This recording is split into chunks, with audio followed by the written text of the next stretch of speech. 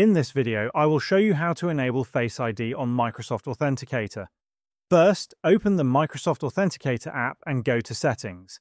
As you scroll down, you will find the option to turn on App Lock, but this will only allow fingerprint or PIN authentication. Face ID recognition cannot be enabled directly from within the Microsoft Authenticator app.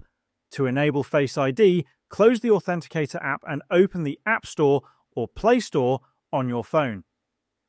Search for Face App Lock, then scroll down until you find an app with a 4.6 star rating named App Lock, Face App Lock. Install this app. Once the installation is complete, open the app and tap Agree and Start. You can skip the introduction if you prefer.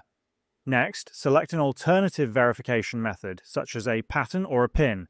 I will choose PIN for this demonstration. Now, grant the necessary permissions for the app to function correctly. Once done, Enable Authenticator from the list and go to Settings in the upper right corner. Tap on Biometric Authentication, enable Use Face Recognition, and allow camera access to enroll your face. Tap Confirm and close the app. Now, when you open Microsoft Authenticator, you will be asked to verify face recognition or enter your PIN. The front camera screen will appear, allowing you to verify your face. You will need to complete this step every time you open the app. If for any reason face recognition fails, you can enter the PIN you previously set up in the Face Login app, and that's how you enable Face ID on Microsoft Authenticator.